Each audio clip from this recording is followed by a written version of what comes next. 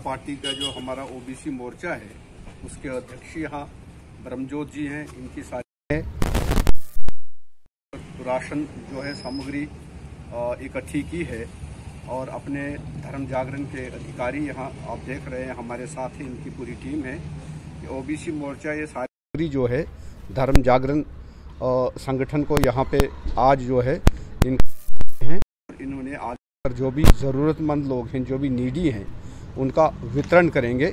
मैं ओबीसी मोर्चा को बहुत बहुत बधाई देता हूँ। ऐसे एक सामाजिक कार्य में लगातार ये हर दिन कोई न कोई कार्यक्रम कर रहे हैं। आप सबका बहुत बहुत धन्यवाद। जानते हैं, ओबीसी मोर्चा प्रदेश के हर ज़िले में एक सामाजिक काम कर रहा है। और मैं सभी अपने जो जितने भी जिला अध्यक्ष हैं सबको बधाई देता हूँ। और आज का कार्यक्रम यहाँ जम्मू वेस्ट में हमारे जिला अध्यक्ष जो केवल वर्मा जी हैं उनकी अध्यक्षता में यहाँ पे एक प्रोग्राम रखा है। यहाँ पे कोई साठ परिवारों के लिए ढाई राशन है। और ये सारा राशन हम जो अपने हमारे दैनिक ये धर्म जागरण के जो अधिकारी हैं विश्व दुबे जी जुगल जी और सोनू जी हैं, गोपाल जी हैं, और ये सभी अधिकारियों के हवाले कर रहे हैं। ये घर घर में जाकर इनके पास एक लिस्ट आई है, जो पर्ची है साठ परिवारों को।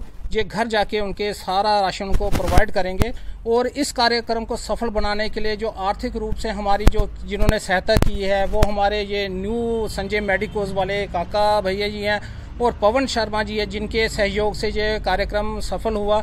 और आज इस कार्यक्रम में हमारे पूर्व कैबिनेट मंत्री और पूर्व विधायक श्री भाली भगत जी आए हैं। मैं इनका तहे दिल से इनका धन्यवाद करना चाहता हूँ।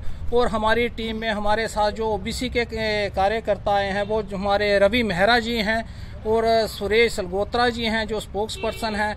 और भी जो जितने भी कार्यक्रम, जितने भी कार्यकर्ता ओबीसी मोर्चा के आए हैं, मैं इन सबका धन्यवाद करता हूँ।